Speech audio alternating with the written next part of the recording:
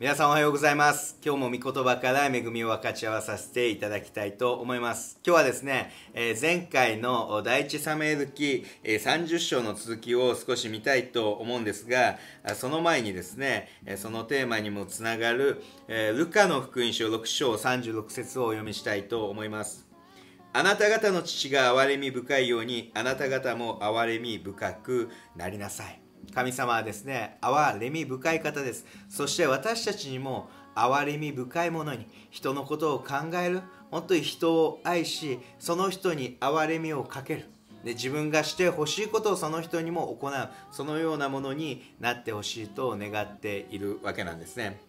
まあ、第一サムエル記の30章を見るとですね、まあ、前回ダビデたちがですね戦いから帰ってくると自分たちのその町はもうすでに敵に荒らされ、えー妻子供たちがすでに略奪されたそのような後だったという話でした。そしてそこに主の言葉に聞いて戦いに出てく取り返しに行くそのような話だったんですね。まあ、その戦いの中でですね、まあ、戦いの勝利の後で、まあ、一つの問題が起こるんですね、まあ、彼らはですね戦いの後に戦いに出ていったわけですからもうすでに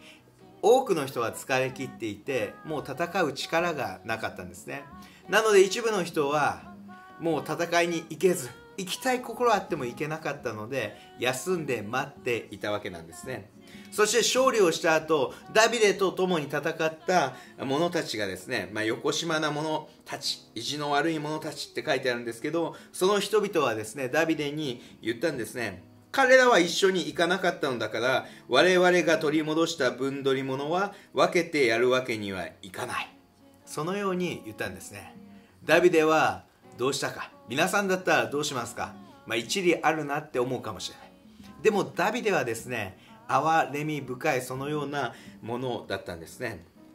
ダビデは言った。兄弟たちを主が私たちにくださったものをそのようにしてはならない。主が私たちを守り私たちを襲った略奪隊を私たちの手に渡されたのだ。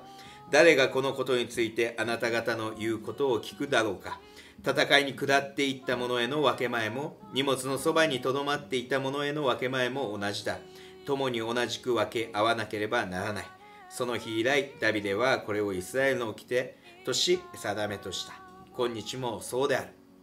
第一サメル記の30章の22節から25節あたりのことです、まあ、ダビデはですねそのようにしてはならないって言ったんですね。もうこの戦いはそもそも主が私たちに与えてくださったものだからそのようにしてはならない。あなたたちが自分たちだけでそれを得てはならない。そのように言ったんですね。神様が与えてくださったものだから。またですねダビデの心には憐れみの心がありその共に行かなかった者たちに対しても良いように良くしてあげたかったその心が与えられていたわけなんですね。ダビデはですね憐れみの心を持ったものでした。いや自分だけでですねその益を独り占めするそのようなものではなかったわけなんですね。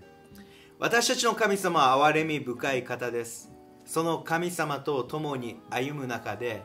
私たちは憐れみという性質を受けることができるようになります。ダビデはですね神様と共に歩む中ただ勝利だけを得ていったただ力だけを得ていったわけではないんですね。神様を愛し歩む中で彼の心には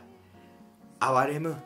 隣の人を人々を憐れむ心がどんどん培われていって成長していっていたわけなんですね。ダビデには神様が持っていた憐れみの心が与えられていました。それはダビデが神を信頼し神と共に歩む中で与えられたんです。神様は私たちに神様が憐れみ深いように神様の性質がそうであるようにあなた方も憐れみ深くなりなさいと言います。隣の人に対して